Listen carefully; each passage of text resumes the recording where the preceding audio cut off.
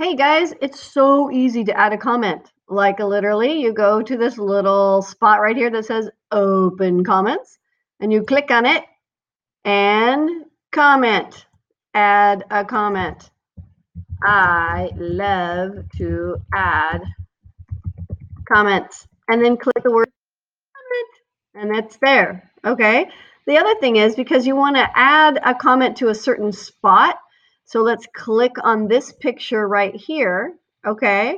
And then you can add a comment this way and hit the word comment if you want to, or you could right click on it and you can go to comment here and say in Google Drive basics I learned.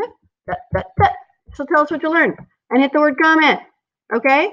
I expect one for every section. Basics, organize, scavenger hunt, Google Slides, and sharing. One, two, three, four, five.